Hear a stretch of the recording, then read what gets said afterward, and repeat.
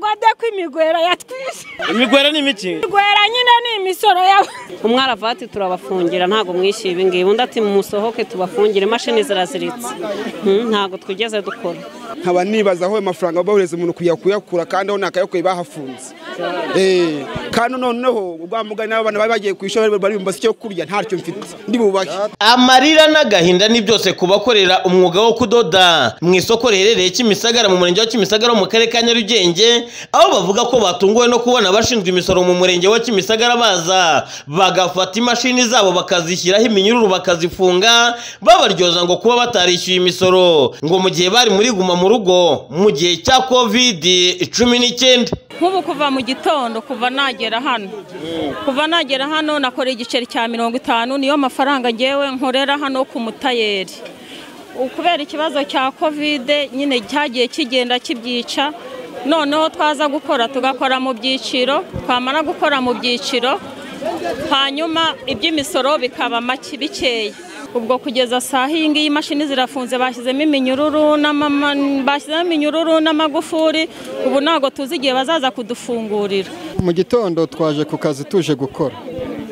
Tugeze mu kazi ni bwo abayobozi ba rwanda abakozi ba rwanda reveni baje mu kazi aho dukorera. Barangije bati imisoro yanyu. Bamwe turayizana ariko tukaba dufite ibirarane byo muri kovide na nyuma yaho kubera yuko uko twagendaga dukora mu mwuga byagiye bigenda nabi mbo muri kovide tugenda urabizi guma mu rugo ivuyemo twakoze mu byiciro twakuza rimwe ugasiba irindi ducika intege zo kugira gute kwishyura imisoro neza nk'uko byari bikwiye nk'uko twayishyuraga mbere. Ubwo rero bimaze kugenda gutyo uno munsi baje baza rwose niba navuga ko baje nka simusigaye urabona ya mvura nyinshi y'amahindu iyigwa nyine ije iza nyine itwara ibintu byose. Bari kuza ati ni musore ibihumbi bitanu icyumweru cyacamo ati bako- bakagaruka ibirara na yo itishyuye rwose amafaranga magana atanu igihumbi nta kazi. Hmm? nk'ubu mu kanya. Umwaravati turabafungira ntabwo mwishyuye ibi ngibi. Undi ati musohoke tubafungire imashini ziraziritse. Hmm, ntabwo twigeze dukora. Nta mikorere ihari rwose bagabanya imisoro bagabanya imisoro. Ngaha ngaha baje gusabwa kuba byibura bishyuye amezi abiri ngo mu gihe ibindi birarane bazagenda babyishyura gahoro gahoro na byo bamaze kwishyura biba kure kubi ngo kuko iyi minyururu yakomeje gufunga imashini zabo. Abana bakeneye kurya abana bakeneye kwiga ubwo urumva nawe wadukorera ubuvugizi leta ikagira ikindi kintu natwe yadusayidiraho baratubwira bati nimugende mujye kwishyura amezi abiri. Twagiye tujya kwishyura ya mezi abiri nk'uko hano ku bipapuro bigaragara. Tuvuye kuyishyura turagenda tujya kubasaba ngo baze badufungurire nk'uko twari tuvuye kwishyura. Ntago ibyo byaje kubaho. N'ubu twabategereje ntabwo bigeze bongera kugaruka. Icyifuzo cyacu ku itangazamakuru. Ni akarengane twahuye nako. Kandi tumaze iminsi duhura nako ku misoro rwose iriya yo muri kovide batugabanyirije ntabwo twanze kwishyura imisoro kuko turi abanyarwanda. Mbo imisoro turabizi yuko itariho igihugu kitatera imbere. Ntabwo tubihakana ntabwo tubyanga pe. Ariko bagerageze badufungurire dukore twishyure ibirarane tuzagenda tubyishyura gahoro gahoro ntabwo tubyanze. Ariko babitubaye ba- ba- bagiriye bakadukagabanyiza ni uko aho nagakuye amafaranga umuntu yakwa baba bahafunze. Nkaba nibaza aho ayo mafaranga bohereza umuntu kuyakura kandi aho nakayakuye bahafunze. Eh, kandi noneho rwa mugani n'abana bari bagiye ku ishuri bari bumva icyo kurya ntacyo mfite. Ndi bubahe ka kazi kanjye kaba kantunze buri munsi buri munsi kaba kafunzwe. Na make nari mfite bayambwiye ati ngiye kuyasora nkatanga uko bikwiye. Nagaruka nategereza ngo ko bamfungura nkababura icyifuzo ni uko bagabanya imisoro bakagira inote ya bitatu kuko amafaranga yarabuze ahantu hose. Ni cyo cyifuzo cyane no kurya ntiturya umuntu asigara nuko bimeze. Kuri ibi bibazo bagaragaza bibabereye umusaraba. Ubatsikamiye twagerageje kuvugana n'ubuyobozi bw'umurenge wa kimisagara.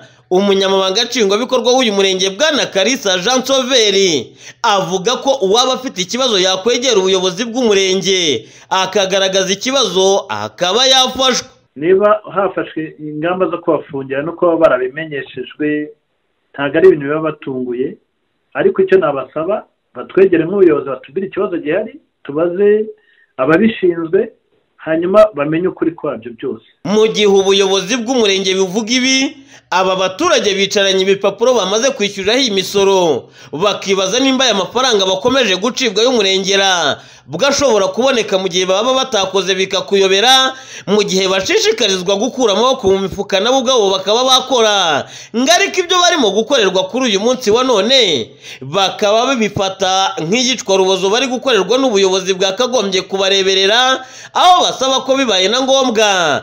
Abafite imisoro mu nshingano babegera bakabaganiriza. Bakumva agahinda kabo bityo bakaba babasha kurenganurwa. BTN TV mu murenge wa Kimisagara wo mu karere ka Nyarugenge mu mujyi wa Kigali Ndindahiro Valence Papi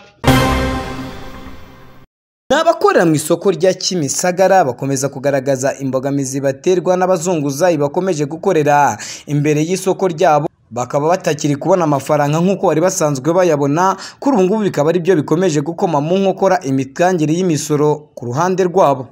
Bakomeza bavuga ko iki kibazo cyabo kimaze gufata iyindi ntera mu gihe umukiriya yinjiye muri iri soko yakumva ikintu agiye kugura kirenzeho n'igiceri cy'ijana. Ahita yikatira akisohokera akajya guhahira babazunguzayi ibi akaba ari byo bikomeza gukoma mu nkokora imikorere yabo dore ko badahwema no kugaragaza ko basubiye inyuma no mu mibereho yabo mu buzima busanzwe bitewe n'iki kibazo cyerekeranye n'aba bazunguzayi baza gutereka imari imbere y'isoko ryabo. Kuba gucuruza kuba tutari kubona abakiriya cyane kubera ikibazo cy'abazunguzayi icyo cyo ni ikintu tuzi kiriho.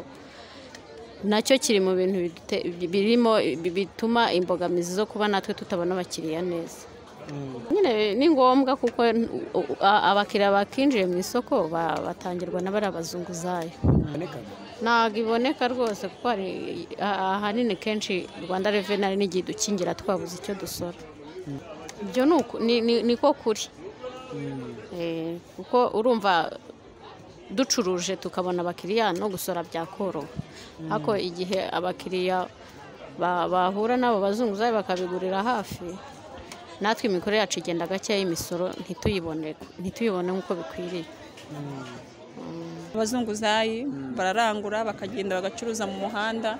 Urumva iyo acuruje mu muhanda twebwe twe dusora ntituba tubashije kubona uko ducuruza.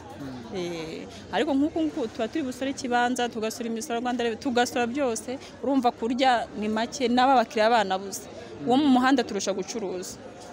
Mwadufasha nuko mwabakora mu muhanda nyine mukabashyira mu maseta nabo bagakora. Mukabashakira ibibanza bagakora. Mm. bakore twese tugire aho dukorera. Noneho aba bakiriya bo hanze badusange mu masoko. Byadufasha kugira ngo tuhatwe tubone uburyo. Turayabura tukabura n'umusoro. Ukwezi kukarangira nta musoro nta ki nta mafaranga. Ubwo nyine bikaba ngombwa ko tugira gute. Tuyihigamo nyine tukajya kuyaguza n'amabanki kandi twabuze hano imisoro dusora kandi byarabananiye. Nka leta yarabananiye rwose kugira ngo baze bicare hamwe n'abandi. Kandi iyo imyaka yeze ntabwo bamubuza kuzunguza. Bagomba kuyizunguza byanga bikunze ubuyobozi nyine twabusaba yuko bagabanya akajagari kari mu mujyi wa kigali. Abantu bose bakagira ahantu bicara. Bakareka kuzunguza twese tugakorera rimwe. Ni benshi kubera akazi ari gake ni akazi kari ibihombo twamaze kubyinjiramo kuko nta mafaranga. Burya no kubona umusoro aba ari ikibazo icyo dusaba ni uko batugabanyiriza imisoro kuko turacyasora imisoro iri hejuru nk'igihe twabaga tugifite muvoma z'igikora ikibazo ni amafaranga. Ikibazo ni amafaranga. Ese amafaranga yaboneka gute ubu? amafaranga yaboneka gute? amafaranga yabonetse abakiriya bakaboneka natwe twayabona. Abantu bose ubona ko bicaye nta n'umuntu n'umwe. Abazunguzayi ni benshi kubera akazi ari gake ni akazi kariho. Ibihombo twamaze kubyinjiramo kuko nta mafaranga. Burya no kubona umusoro aba ari ikibazo. Nyine abazunguzayi baba babaye benshi kuko akazi karabuze. Akazi karabuze umuntu wese rero ubwo mu muhanda ubwo usanga bazunguza no mu mago babasangamo. Bigatuma rero hano twirwa dutegereje akabwo bwera twe nta na yo tubonye. Nta bakiriya bakibonekamo mu isoko ngo usange muvoma zikorwa bitewe n'iki? No kuba umuntu icyo akeneye kimusanga no mu rugo. Saba ko nabo nyine bajya babashakira isoko naryo ngombwa nabo bagakora cyangwa nk'ubu ibibanza biba birimo hano. Iri hasi. Kandi umusoro ntukatuka ahubwo kugira ngo ukatuke uriyongera. Ku murongo wa telefone ariko yagerageje kuvugana n'umunyamabanga nshingwabikorwa w'umurenge wa kimisagara ntibyadukundira. Inshuro eshatu zose ubwo twamuhamagaraga ntigeze yitaba telefone. Nibyo byaduteye guhita tuvugisha ubuyobozi bw'akarere ka nyarugenge kugira ngo tumenye ikigiye gukorwa kuri iki kibazo. Ntibwagize icyo butangariza itangazamakuru inshuro eshanu zose tubuhamagara. Bw'ubuyobozi buzagira icyo butangaza ku bw'iki kibazo cy'aba baturage bakorera muri iri soko rya kimisagara bazabibatangariza mu makuru yacu ataha. Imana ishimwe pierre btn tv rwanda i kigali.